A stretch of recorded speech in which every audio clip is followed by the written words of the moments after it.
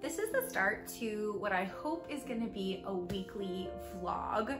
Um, I really love watching vlogs, um, reading vlogs, chill vlogs. I think they're really fun to watch. So I thought it'd be really fun to try and do a weekly vlog. I just don't feel like I normally read enough in a weekend to like warrant a vlog. Maybe if I'm, maybe sometime it will be, but anyways. So I thought I would do a whole week weekly vlog.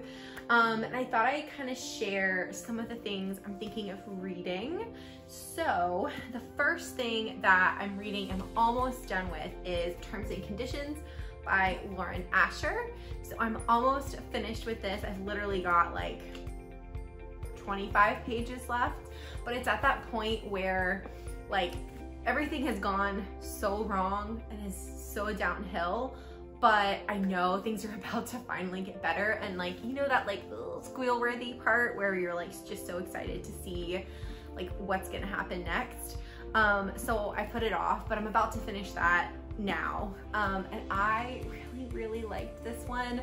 So I know I'm starting with like me finishing a book but that's just kind of where I was at.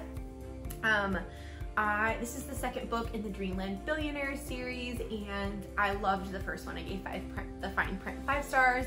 This one I think is gonna be five stars too. Declan and Iris are just, they're so good. Um, hello. Sorry, Diana's gonna be joining us.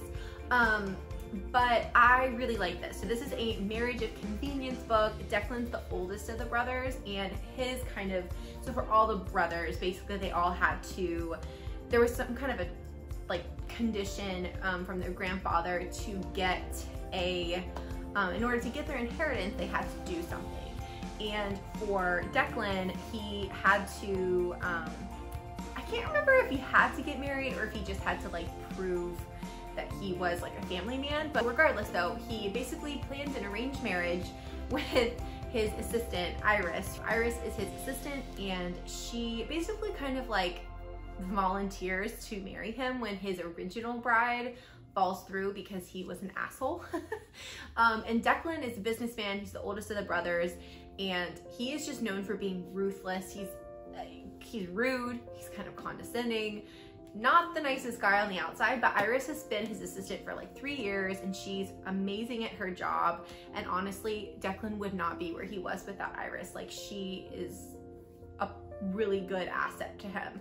And he definitely takes her for takes it, not advantage, but he takes her for granted, I think. And so the story starts when she has this like whim of deciding that she's going to, um, volunteer herself to be his bride. And they set this contract up so they're gonna be married for like three years and they're gonna have a child together and then they can like go their separate ways if they need to. And if you know me you know I love an arranged marriage book. And this one the tension has just been building between these two like steadily. I think Lauren Asher did a really good job of not having them get together like super early on. Because sometimes that happens in like either an arranged marriage or like a fake dating and I just think it loses something when that happens because you're not you don't have that like urge for them to like you know finally get together. So they did finally. And then spoiler but Declan was such a jerk and he totally just like imploded all of the trust that Iris finally had in him. Mm just wanted to like soccer punch the guy. But, you know, it was one of those moments where he said something in the heat of being angry. And he even said it, he lashed out at Iris, said something very hurtful. And now he's trying to figure out how the heck he's gonna get her back. So that's where I'm at in this one. But really loving it and this series in general is very very good. Try and come on and let you know some final thoughts at some point but don't for some reason because basically I'm done now. Unless they really mess up the ending, I think this is gonna be a five stars. Like it would take a lot for this ending, for this book not to be five stars. So right now I'm just waiting for Declan to figure out how he's gonna make it up to Iris basically. Um, yeah, so really loving that. Um, and then I have a couple other books that I'm hoping to read. So I'm starting this vlog on a Sunday, which is kind of an odd time, I guess, but I'm thinking, like I said, I'm gonna do like a whole week and then hopefully I'll get a couple snippets throughout the week, but if not, I will catch up with the vlog next weekend. And it's been a pretty chill day so far. I, we, I definitely had a lazy morning, which I needed. Does anyone else just feel like when they get really stressed out or things are really busy, that they are just so exhausted? Like, so tired. It's just been a lot at work. Like I'm switching jobs and I work in the schools right now. If anyone doesn't know, I'm an SLP, a speech language pathologist, and I work in an elementary school, but I'm actually switching to a private practice soon. And I'm very excited, but it's very bittersweet. And so trying to like wrap up everything, I've only got, gosh, like a week and a half, two weeks left. So it's just been a lot trying to wrap up everything and, you know, get everything in order. But yeah, so it's just been a pretty chill morning, but then I did finally get my act together and filmed a couple of videos for the week for um, the channel, which I've been trying to be smarter recently and like batch film a couple of things at least, but I got really behind. And um, so I just filmed one and it's uploading now about my 23 23 favorites so far. So then I also filmed a video about books on my mind, which basically is like a TBR, but just not a TBR because I can't stick to them. But basically it's just all the, the books that I've been thinking about recently that just keep floating around in my mind and that I really want to read over the next couple months. So you'll see those videos at some point. Hopefully they're already up when you're watching this. But, um, so I did do those two things and, you know, did the lovely adulting things of like cleaning up, unloading the dishwasher, doing laundry. So now I'm gonna hopefully read a little bit more and then um, make some nachos for dinner, which I'm excited about. Um, but let me grab the other books.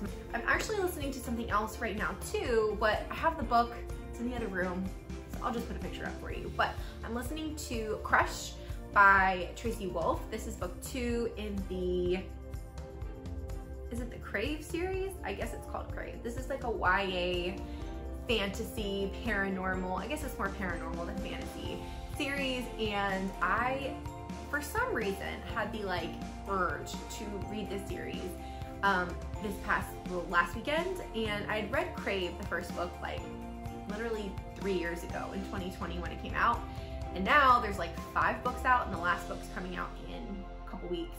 And I just, for some reason, was like, you know what I need to do? I really want to power through that series.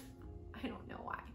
But, um, so I'm listening to them on audiobook. They're on Anyplay if anyone's interested, but I also already own the second one and then I got the rest from the library. Because when I'm listening to a book, especially a big chunky book like these are really fat, um, I do really like to like be able to like find my spot and sometimes read as I listen. So yeah, this is, I don't know, so far I'm like halfway through book two and so, so far it's good. I, I will say book two definitely I think has a lot more going on plot-wise than the first one. The first one's a lot of setup um, and trying to introducing characters. Just noticed my cat is drooling. Can you guys see that? I don't know what like you can see on the camera, but I think there's a bird outside the window that she keeps looking at. She's drooling over it. So if you can see that, sorry. But um, anyways, back to the Crave series. Um, I'm really liking it. It's a fun, it's pretty fast paced. It's it's just kind of, you know, when you just need something that's like kind of a corny, popcorny type book. That's what the series feels like to me. But there was a bit of a, I think there's gonna be, I don't know if this is a spoiler, but I feel like, okay, if you don't wanna know any spoilers for the series, just fast forward for a couple minutes. But um, I think there's gonna be a bit of a switcheroony with the love interest. Like she started dating Jackson in the first book, but his brother, Hudson, is like basically the what we think of as the villain right now. And I have a theory slash I kind of had a little bit of a spoiler that so it's not really a theory, it's more like I just am pretty sure that she might end up with him and like things are gonna come out. So I'm really just like in the series to see what happens with the love story. Like the fantasy part and the paranormal parts are fun um, especially because we just found out what Grace is, who's the main character. And I guess I never really said, this book is called, it's the cat, oh, it's not called the Crave series, it's called the Katmere Academy series because all the kids go to Katmere Academy and they, um, basically there are a bunch of different supernatural creatures in this school. It is high school. It's like a boarding school basically in Alaska. And in the first book, you figure out what most of the characters are, but in the second one, you really explore what Grace is because she always thought she was human. Spoiler alert, which I mean, we all did we all think she was really human? No, we knew she wasn't, right? But anyways, um, I'm really, really enjoying this series so far, and I am gonna continue listening to that. I'm mostly listening to it when I'm doing chores, so like I'm cleaning or if I'm, um, you know, cooking dinner, I'll listen to it usually, and then in the car on the way to work and stuff. So um, it'll probably take me a couple days to finish the second one, and then I do plan on just like continuing the series. I really want to just go through and listen to all of them. There's three more to listen to, but I don't know. If I get burnt out, I might do something else. Um, this clip is getting very long, so let me quickly tell you.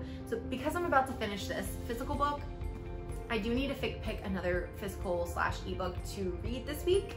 Um, so I've got a couple options. Number one is Heiress Gets a Duke by Harper St. George. This is a um, historical romance and it's Gilded Age, so it's set in, I think this is actually set in Europe, but um, you know, it's set during the Gilded Age, which is one of my favorite time periods. It's just, I think it's such an interesting time in history. And this is about an American heiress named August. And then there is a Duke. Isn't there always a Duke? Named Evan. And I'm pretty sure that it's, I think, I'm pretty sure that August's sister is supposed to marry the Duke in like basically a marriage of convenience type thing. You know, the age old her family has a ton of money. She's an heiress. His family has the title. We're gonna combine them. But she's like, no way. I'm not letting my sister, um, you know, become in a loveless marriage. So I'm gonna like do something about it. And then it's the two of them, their love story. And I've had this one for a really long time on my shelf and I just really want to read it. Um, so that's option one. Option two is Ana María and the Fox by Liana de la Rosa.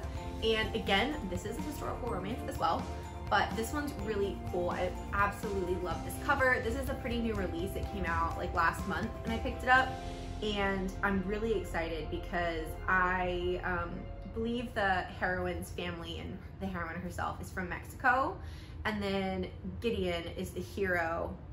Uh, and I think he's something to do with I don't actually know Gideon, what Gideon does, but I know he's British. Um, and so it's the two of them. I know it has something to do with like politics and kind of some of the darker things of the past. Um, like I think it has to do with like him trying to abolish the Atlantic slave trade. Um, and I'm, i know that she comes over to Europe, but I don't, I feel like I'm not, I'm just spouting nonsense now. I don't know all the details, but I do know this sounds very cool and I love that it's um, a heroine that's not necessarily just from England. I think it's really cool. So I wanna read this as well and this sounds super fun. Um, and then my third option that I'm trying to choose between is um, it's Sarah Adams' new book. I think it's called Practice Makes Perfect. I'll put a, a picture up. This one just sounds so good. I didn't read, I've never read anything from Sarah Adams though. So I'm trying to decide if I need to go back and read like the first in her series, When in Rome, or if I can just do this one. I'm not gonna lie to you too. The cover really does something for me and the plot just sounded amazing, which I don't even remember now to tell you, but I'll try and look it up for the next clip. But I'm not sure which one I want to read. I will try and um, come back. I'll try and come back on at some point though and tell you out of those three. But that's a contemporary romance. I don't think I even said that. And um, I'll come back on and let you know though which one I pick. Hello, um, today is Tuesday night, so I wanted to do a little bit of an update. Um, also, I really apologize for the lighting. It's really dark and stormy outside, so there's not much I can do about it, but um, uh, we're just gonna have to work through it. Um, and also the fact that I have really sopping wet hair um, and no makeup because I just got out of the shower. But I wanted to do a little reading update before the whole week got away from me. And I did finish Terms and Conditions by Lauren Asher on Sunday, and I really ended up loving this. I gave it five stars. Um, Declan was a harder sell for sure um, than Rowan from the first book for me, but at the end of the day, I did really end up enjoying it, and you know, I felt like I don't know. He was like an he was like an ogre. Okay, he had he had layers, and it took me a while to kind of peel back the layers and see him. Um, but I do think that he made up for kind of the things he did and things he said. Um, and I do think that, you know, he won Iris her, her respect back, kind of.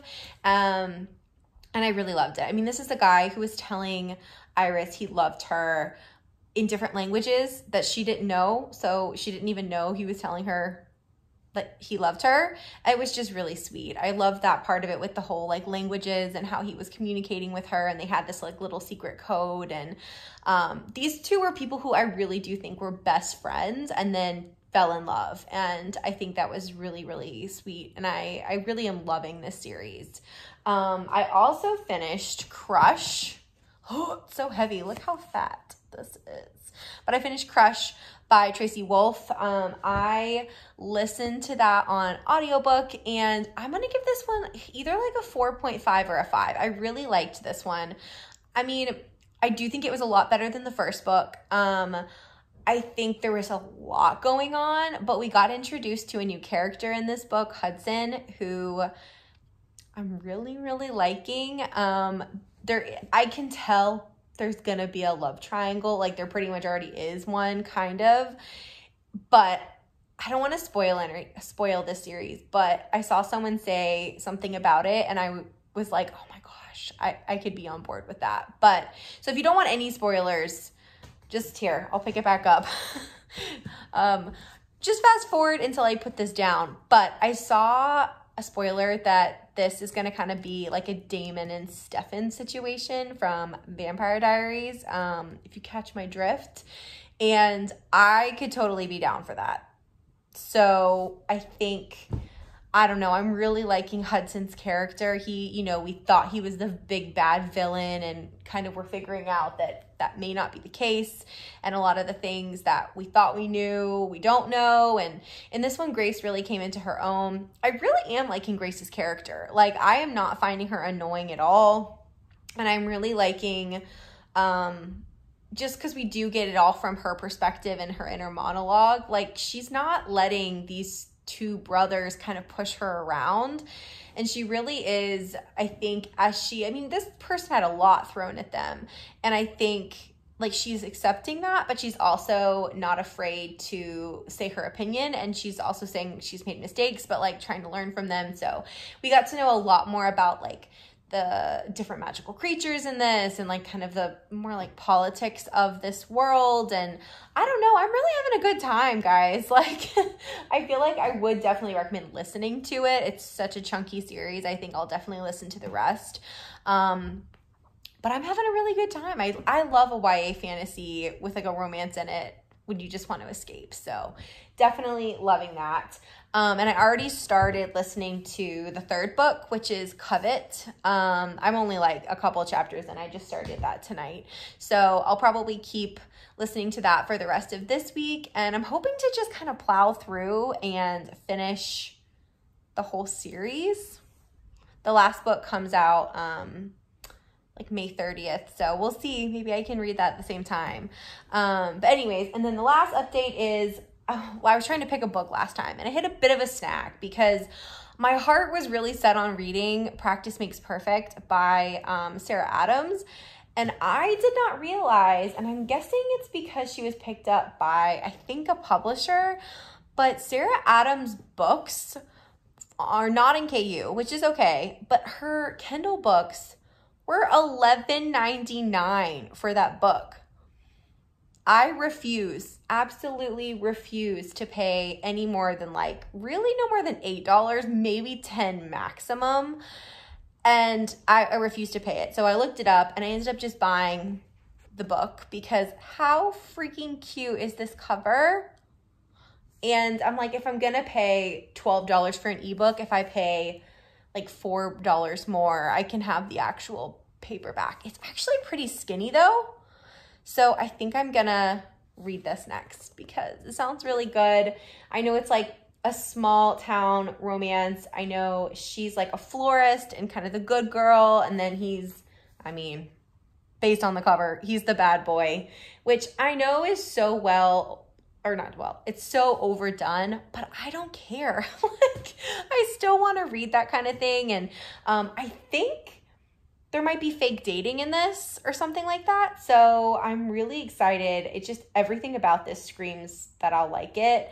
My only thing is I, I just really hope I do because I hate buying, I really hate buying books in soft like in in physical form and then not liking it i just feel like it's such a waste but i actually think i'm going to start this tonight because it's like 7:45 but it's raining and gross and i am tired. So i literally think i'm to go tuck myself into bed and read this book for the rest of the evening. So i'll try and check in a little bit later in the week and let you know um how it's going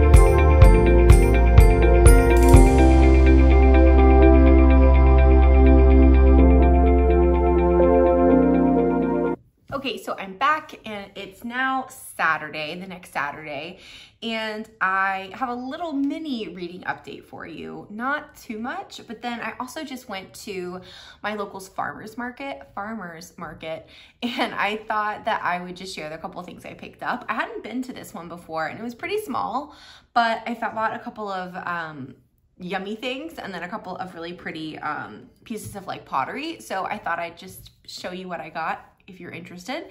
But first, let me tell you my reading update. So I did listen to more of Covet by Tracy Wolff, and um, I am really liking this. It's a really good audiobook, and I I, am coming to the conclusion that it's going to be really hard to talk about this series though without giving any kind of spoilers away, just because there's kind of a big thing that happens that I could see people not wanting to know, but I will just kind of leave it at I'm really enjoying this. So much is happening and I'm really liking where the romance is going. Like the romance is really kind of like amped up in this book and um there's just so much like magic grace is figuring out who she is um it's kind of at the point in this book right now where i'm a little stressed out because like all the bad things are kind of like happening and you can just see where it's going to go even worse from now.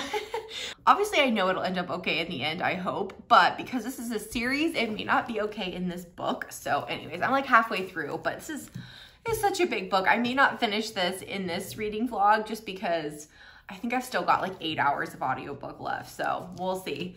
Um, and then I did start Practice Makes Perfect by Sarah Adams, which I think I had told you I was going to last time I was on, I think. And I think I might have included some clips of like the, um, the uh, beginning of the book with like the, um, gosh, what's word? The dedication um, and the quote and stuff because I really, really liked it. So this book is just like speaking to me. Now I'm only like literally five chapters in, so I don't really have too much to say on the actual like plot, but I will just say that the, um, the dedication. Why can I not think of the word dedication today? Anyways, the dedication is just so sweet. So it's this one is for the softies, the tenderhearted sweeties, the introverts who are afraid to shine. And as somebody who is pretty darn introverted, I just I don't know, I really liked it. I thought it was sweet. And then um, the quote at the beginning is to plant a garden is to believe in tomorrow by Audrey Hepburn. And I'll have to like take a little snapshot and like put it in the video because it's so random that um, that is the quote that I had just written on my chalkboard. I have like a chalkboard in my kitchen that I usually change up for the season. And the spring quote that I had picked like a few weeks ago was this one. So I thought that was just kind of random. So far, all that's happened is we've met Annie, who's our main character, and she is very introverted. She definitely has a lot of like social anxiety and she runs the local floral shop, but she's trying to put herself back out there because she really wants to find like her person and be able to settle down. But you know, you have to actually date to do that, which this whole beginning of this book really just like spoke to my soul.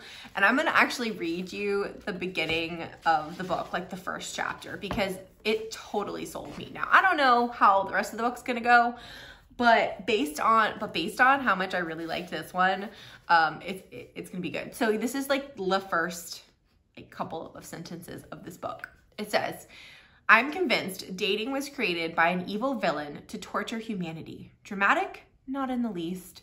For introverts like me with social anxiety, the process of dating is equivalent to waxing your bikini line, menstrual cramps on day two of your cycle, an emergency dental procedure you weren't expecting, and guess what? They're fresh out of Novocaine.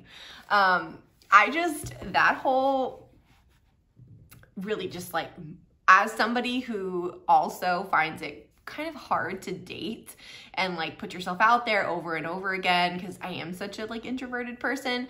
Um, I just, I really liked it. So the beginning of the book finds Annie on a very awkward date, like really awkward. To be fair, I don't think I've ever had one quite this bad.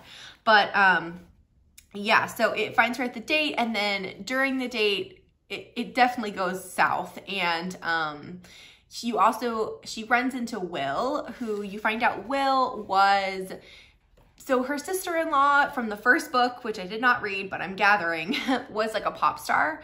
And she's now gonna be her sister-in-law because she married Annie's brother. So they're living in Rome, but Will was the bodyguard for the pop star. Um, and so she had met him before and kind of had like a little bit of a thing for him, but like never said anything. She just thought he was like the best, but he doesn't really, very serious about his job and doesn't really, you know, socialize when he's being a bodyguard. So, but he comes and he, you know, talks to her. He's there with a date um, at the same restaurant and you kind of see, I really like this is dual POV too. I didn't know it was dual POV and that's my fave. Um, so anyways, you can just tell that, that Will really like likes Annie as well, but he's definitely not somebody who is looking for like commitment or you know a long-term thing and so um, obviously it's gonna go from there that's literally all I've read so far but I will definitely catch you up more once I read the rest of it. Um, it's not long, so I'm really hoping to read it today and tomorrow because I don't have too much more to do. But anyways, let me show you the couple things I got from the farmer's market. And if you don't care, feel free to just fast forward through this. But the first thing I got was yummy fresh sourdough because I love sourdough bread, but I'm I've never actually made it myself. Um, so this is from a local bakery, Peterson's Bakery, and I'm really excited to make some like sandwiches and toast and stuff. And then I got two really delicious pastries, but I'm not gonna get them out because I think they're gonna make a large mess. But suffice it to say, as a like sweets person, I am very excited to eat those um, after this after I finished this actually. Um, so they had like a bunch of pastries and bread and they actually did breakfast sandwiches too, but I just didn't get one. And then I'll show you the couple pieces of pottery I got. So um, I just thought these were so pretty and I really like the look of like handmade pottery. But typically when you know, I've looked at it on Etsy and things like that, or even at other farmers markets or like, you know, places that people are selling their art. Um, they're really expensive and I understand why, you know, it takes a lot of skill and like time and effort to put into, you know, homemade pottery. But um, these were a little more in my price range and I was super excited because um, usually, you know, like a coffee mug is like at least 50 bucks and I'm like, oh, that's like, it's like a very special treat, you know?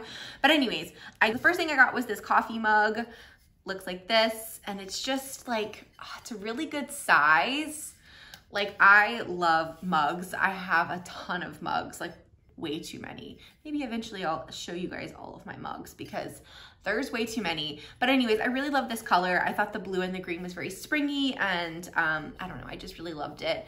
And then kind of this is actually a gift I bought for my parents. They are moving soon to a new home and um, I'm, we're all really excited for them and they're gonna be closer to me, so I'm very excited. But um, I wanted to buy them a little something just as like a housewarming gift. And this one I thought was so cute. So it's supposed to be a berry bowl. And um, so it's got like the holes in it, but I just thought it was so pretty um, with like the scalloped kind of warped edges. And you know, you can put like your fruit and stuff in there after you wash it to like put it on the counter and the fridge or whatever. Um, honestly, she may just, my mom may just want to like leave it as decor, but I just thought it was so, so pretty. And I really think she'll like the color scheme as well.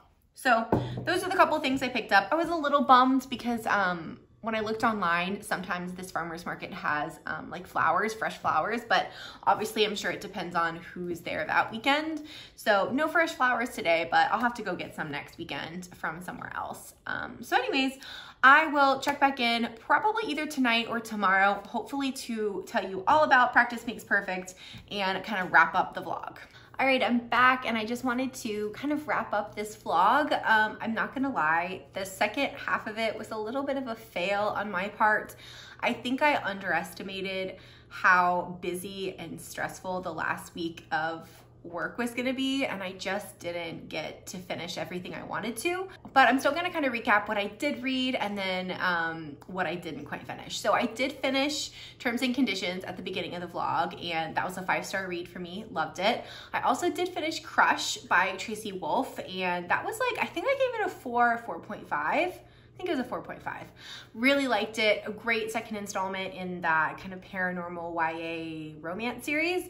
And then I also did finish Covet by Tracy Wolff. So I finished two of her books, which are very large. So, you know, I'm not feeling as bad as actually as I say this, but I listened to both of these and this one was my favorite. I gave this one five stars. I really liked this one so far. Like so much happens in one book. It's kind of crazy. I will say my one critique of the series, like overall, is I do think they're all a little bit too long. Like I think they could be shorter for sure and still kind of pack the same punch.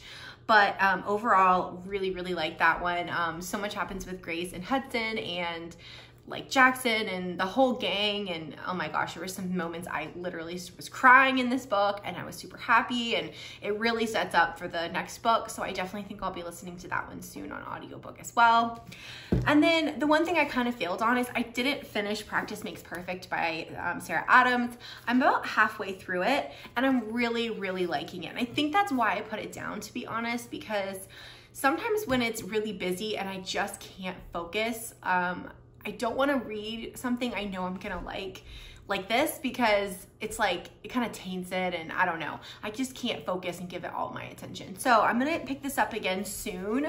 Yeah, I got to page like 140 and um I'm really loving this. Annie is just the sweetest and then we have um, Will and I just, it's super sweet so far, which is what I was expecting from like a Sarah Adams book from what I was told. And um, definitely excited to finish this. I've had a smile on my face the whole time I've been reading it. So definitely gonna finish it soon and you can see my full thoughts on um, in my wrap up. But I'm gonna go ahead and end this vlog here and um, I will catch you guys soon.